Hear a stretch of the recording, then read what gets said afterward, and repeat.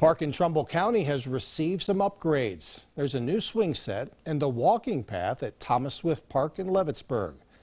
$20,000 in renovations were made possible through a grant and a collaboration between the Metro Parks and the Combined Health District. The park's executive director said it adds more options for people to get outside in the area. It's nice when organizations, you know, can align their goals like we did with the health department and we're able to, you know, get, you know, you know, they have an initiative getting people out, getting people more healthy, and you know, we have a park facility where we can get people to come in and do that. The walking trail now has a harder surface and water drains off the area better.